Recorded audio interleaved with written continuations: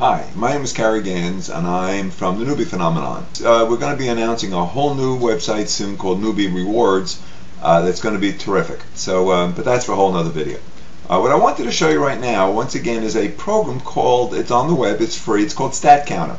Now they have a paid version, but um, you can register for it. You can see it on the screen here. It's at statcounter.com and you can register once again for free. Now, what I wanted to show you today is not so much stat counter because there are a number of ways of tracking URLs, but um, tracking visitors to your website. But I don't know of many ways of tracking visitors to your blog that work as well as this.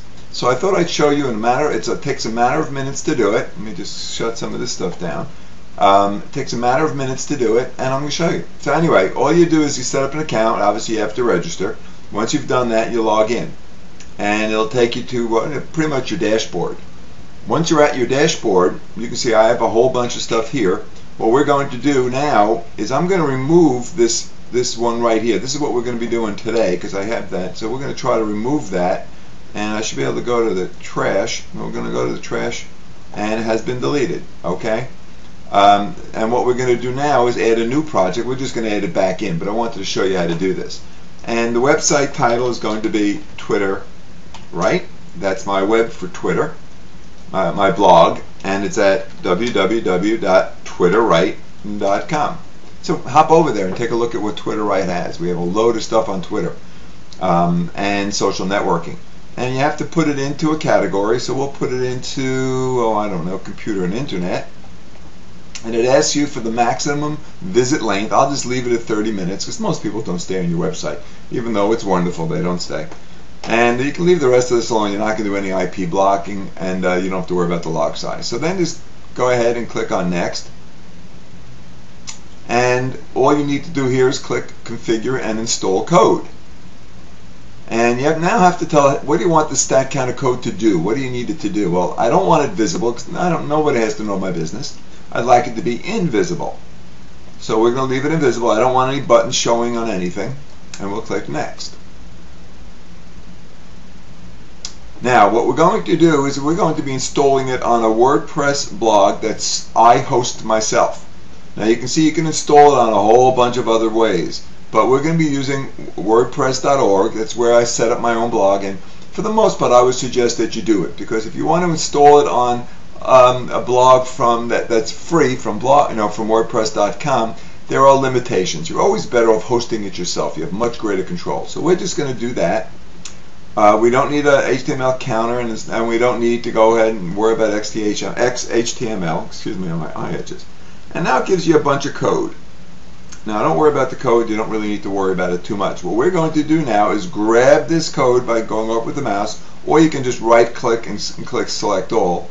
Then I'm going to copy it, and the reason I'm doing this is I'm going to put it into Notepad. Now I've already done it, but I'm going to do it again in case they change the code on me. And we'll paste it. Now it's in Notepad and we're going to leave it in there okay? And now what we're going to do is pause this and I'm going to open up Twitterright okay now one of the things I didn't mention um, was that you need to download the StatCounter WordPress plugin.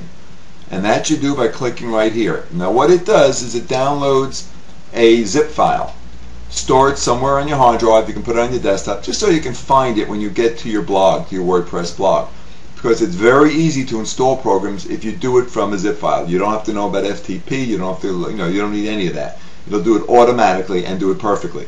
So once again, I'm going to pause it again just to get over to the uh, right.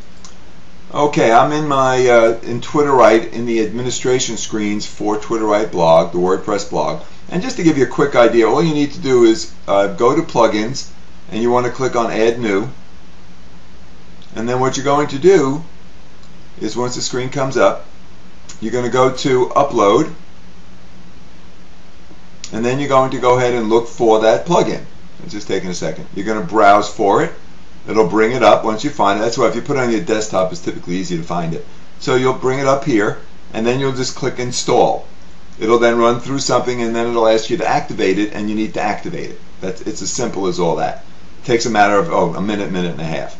Then what you're going to find is which, all the way down here, you're going to see a stat counter settings. In settings, you'll see stat counter. So you're going to click on that. And now there are certain things you have to install. First, you have to enable it, and then you've got to put in these settings. Now, if you look in the Notepad file, now it changed, so I'm going to redo these for you. This is what I, I had done this for another video.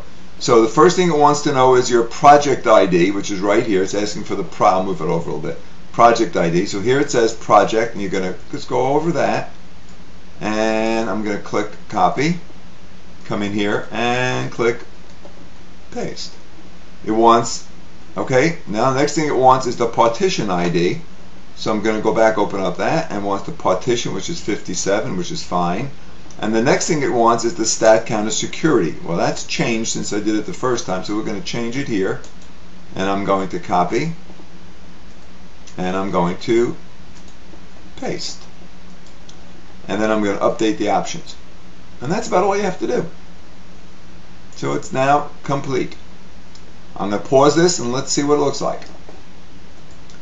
Okay, now you'll see that when I go back to my, my projects and stat counter, there's Twitterright, and you have all these buttons, and once it starts to get hits, now you can see my newbie phenomenon website had 12 hits so far today, it's still the morning, and so far this month we've had 220, and since I, I put this on here we've had 3,000. And you can see those are all the hits I've had to these various uh, you know, websites or blogs of mine. Here's a WordPress Unleashed blog and a WordPress plugin ebook. So that you know you can pretty much use it for a wide variety of reasons, and it gives you a way of tracking whether something's successful or not. So it's a very cool little thing. I think you're allowed 10 free. I'm not exactly sure of that, but I think it's 10 for free. But you can check it out. Um, you can just go up to billing and see what the costs are. And if it, you know, if you're going to use more and it costs a couple of dollars, it's well worth it. Because once again, once you click on the the graphs, it'll show you in real time the stats. Now, I have no, obviously, have nobody in. We just did it, but you can check it based upon time, on data, whatever.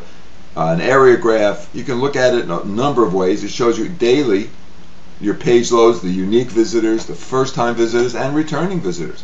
So you get a, you get real good statistics from it and once again, it's free.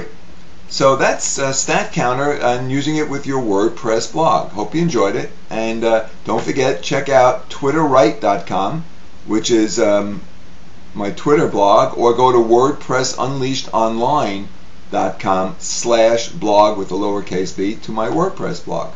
And you'll get all kinds of great information. Have a great day. We'll see you at the next video.